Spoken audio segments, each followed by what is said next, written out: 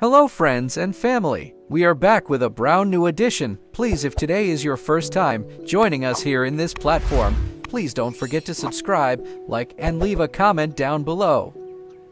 Today, we are going to be talking about the lake in Tanzania that turns living things to stone. Please stay tuned.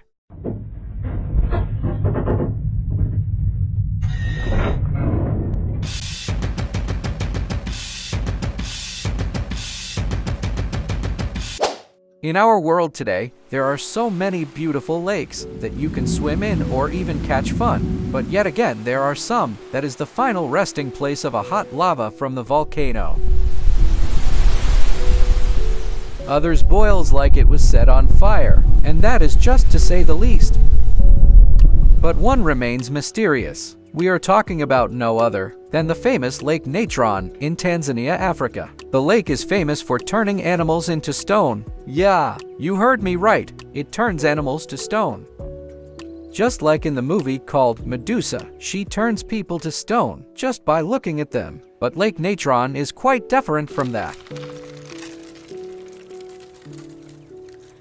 Lake Natron in Tanzania is a lake that has alkaline pH levels high enough to turn small animals into hardened fossils upon contact with it. Not just that, the lake is harmful to humans and big animals too. So please, and please, whenever you go there, don't try to swim in the lake.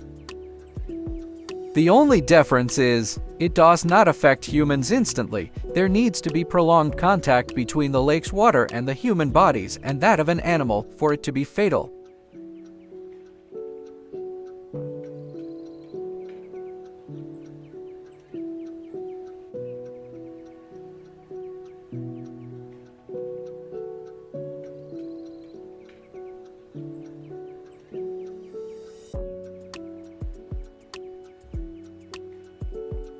Mind you, the only animals that can survive in the lake are flamingos because they have thick skins on their long feet that protects them from the effects of the water. However, the rest of their bodies are very susceptible to the water's risk.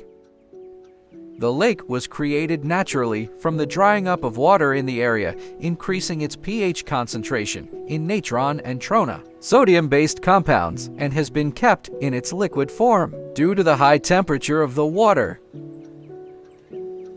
Aside from flamingos, the lake is also home to fish and algae that have adapted to being able to survive in the high alkaline nature of the lake.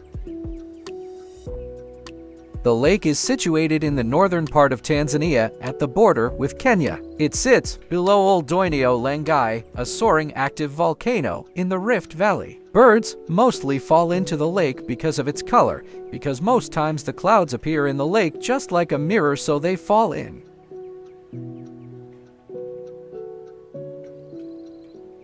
Lake Natron is the preferred destination for many tourists and photographers who go there to take pictures and also to see the, the wonderful lake up close. It is one of the country's wonderful tourists attractions as it attracts many tourists annually.